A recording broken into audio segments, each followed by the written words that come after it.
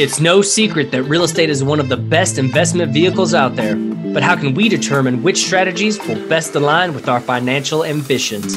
Well, you've come to the right spot. Whether you're an active real estate entrepreneur, a passive investor, or looking to get into real estate investing, our goal is to provide investors with the insights and strategies for building our portfolios, all while protecting our capital.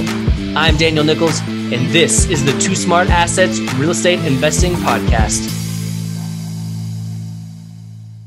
What's going on, everyone? Welcome back to another Off the Beaten Path episode. And with us once again is Elisa Zhang, owner and operator of Easy Real Estate. So, Elisa, what's your number one tip, tool, or resource for investors, entrepreneurs, or anyone who is looking to go off the beaten path to create success? I would say start today. Don't wait for anything, just start today. Um, if you're not going to um, willing to spend the time to start today on certain things that you certainly are not going to willing to do that at full-time job like as a full-time capacity in the future right? So uh, stop fooling yourself and start today.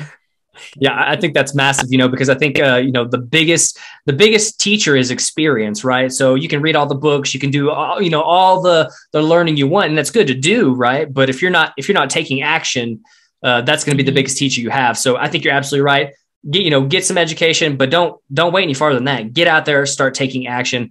Uh, i think that's absolutely massive. I know i struggled with that when i first started but you know eventually you learn from others people like you people you know read books listen to podcasts that kind of go over that and say that's a big thing. So absolutely agree. Love that you brought that up. Lisa um, before we get out here um, tell the listeners how they can find them out find out more about you your business and anything else you have going on yeah, awesome. Uh, just check us out on our website at Easy FI University. Put it over here, here. here sorry.